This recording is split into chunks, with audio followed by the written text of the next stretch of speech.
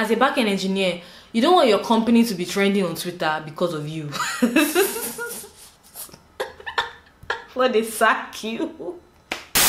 Hello everyone, hello friends and you're welcome back to my channel. You're welcome back to AdoraHack. My name is Adora and in today's video I'm going to be talking about a back-end learning roadmap if you are someone that wants to learn back-end engineering back-end development in 2021 this is a video that i would advise you to watch. I'm all about taking the minimal steps to success because i'm a lazy person. I'm not one of those hardworking people that likes to do all the things to get to a particular place. If i can do the minimal things to get me to that point i right? And so because of that, I'm going to be telling you the minimal things to learn in terms of your back-end journey. Are you someone that is on the road to becoming a back-end engineer? I'm going to be listing out things and I'm going to be sharing some things with you that I believe that you can learn. And without any further ado, let's get right into this video. But before we get right into the video of today, I would really want to thank HarperDB for sponsoring this video for sponsoring today's video. Are you tired of dealing with headaches related to database connectivity and setup? HarperDB is a geo-distributed database that is solving these challenges by activating speed, performance, and low latency. You can even use their SQL and NoSQL in one powerful tool and it's accessed via an intuitive REST API. So you can spin up a free instance and see for yourself. I'm going to have a link to the HarperDB Studio in my description. So I would urge you to go check it out.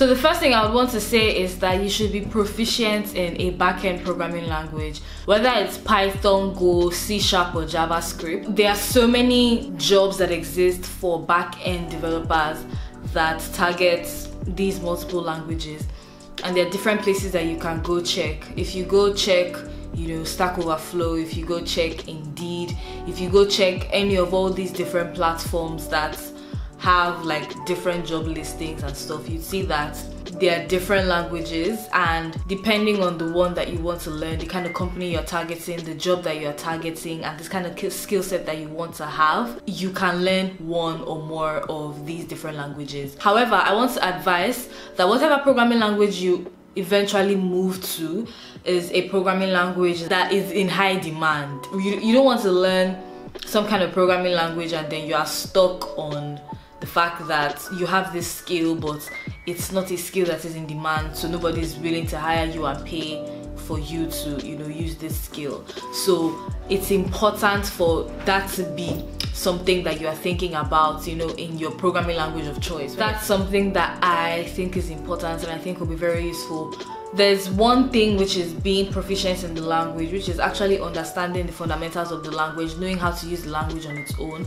And then another thing is using the frameworks of the language. For example, if you're writing C Sharp, you might also think about, you know, picking up ASP.NET. If you're writing Ruby, then Ruby on Rails would be your best bet. If you're writing JavaScript and you're trying to be a backend engineer, you're going to be doing a lot with Node.js and you might be thinking about, okay, which framework and Express might, you know, be your best bet if you are writing Java, you know, you might be thinking about Spring. If you're writing Python, you might be thinking about Django and so on. Within that context of languages having high demand, there are also cases where language frameworks have high demand. Like if you find a PHP job today, there's a very high chance that that PHP job is going to be using Laravel as opposed to any other framework that exists out there. So when you're making all these decisions, it's important to you know hold your internet, you know, do your research properly. It's important to think long term and not just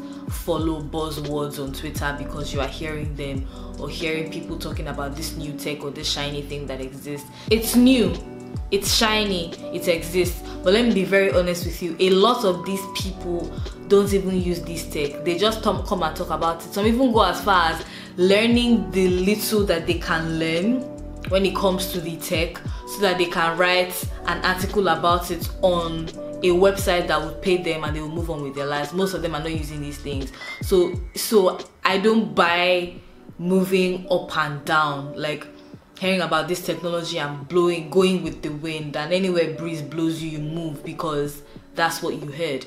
You need to do your research think about whatever it is that you want to choose.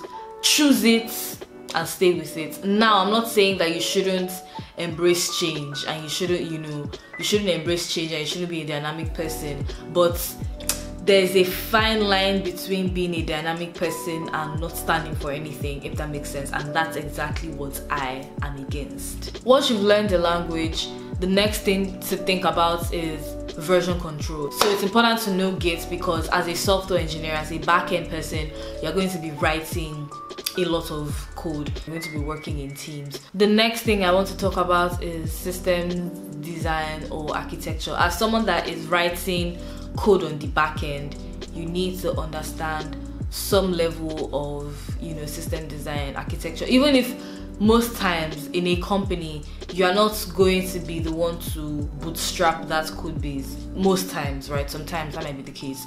But sometimes you're not going to be the one. So there's a chance that you are already writing code in an already existing code base that already has the way things are done. But you might need to design a new feature to add to that application. You might need to find go look for opportunities that help you strengthen that muscle help you grow in that space because it's something that you cannot run away from. I wouldn't even if you can run away from i wouldn't even advise you to run away from it because as you grow in your career at some point system design even if it's not something that at the beginning of your career was so you know important because you were in a team where other people were doing it. As you grow in your career at some point, it's something that you can't run away from. It's something that you need to have to take ownership for. And at that point, if you don't have an idea of how to actually design cloud systems, design backend systems, there's going to be a problem. And the next thing I'll talk about is, you know, learning databases.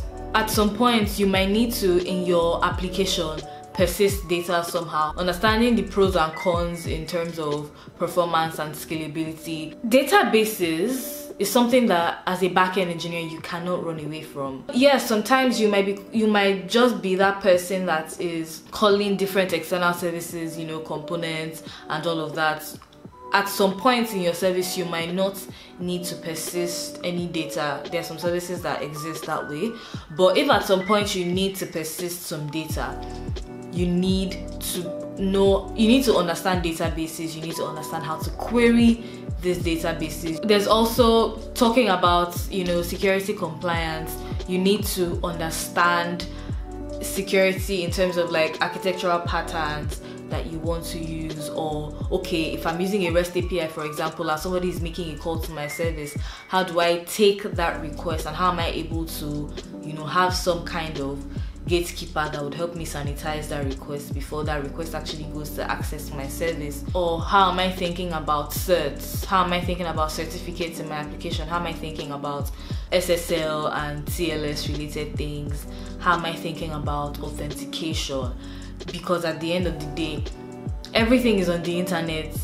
It means that there's cyber attackers just waiting for the data that your customers will bring. And if you are not as a backend engineer security conscious if you're not conscious about the fact that some things if i don't foolproof my applications could be vulnerable to allow cyber attackers get access to my service get access to my data and steal it and go and do whatever it is they want to do with it then i'm not ready essentially.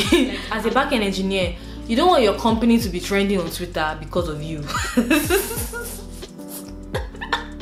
when they sack you. Yeah, you want your company to be trending on Twitter because of you. So this is something that I'll that you know you thoroughly think about. There are other things that I believe are important in your journey to becoming a backend engineer. There's one that I did not mention already, which is testing. As a backend engineer, you're going to need to write tests. As a software engineer, you're going to need to write tests. Like I hear that there are some businesses that don't write, and I'm afraid I can't work in that kind of company. I'm sorry because it's just it will just be like eh, I'm holding, I'm using sellotape to hold everything because if I go and check in code somewhere, there's chance I'll go and spoil something somewhere. I don't have energy for that. So like testing is something that I would advise as a backend engineer you pick up as well. Even if it's just unit testing, integration testing, and being able to write end-to-end tests. Being able to at least do these three, even if you can't do other kinds of tests, is something that I would definitely advise because it just gives you confidence that ah okay, this is what I wrote. I'm sure of what I wrote, and my code is not going to disappoint me randomly. And once in a while it will, right? And it also depends on the quality of test that you write, but that's like a whole different topic.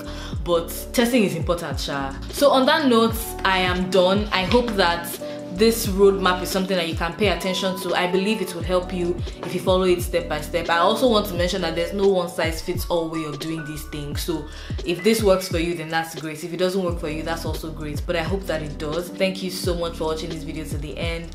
If you liked it, please make sure that you give it a thumbs up. Yeah. If you're not subscribed to me, please make sure that you subscribe the subscribe button is here it's somewhere here. Thank you so much again for watching this video to the end and i'll see you in my next video. Bye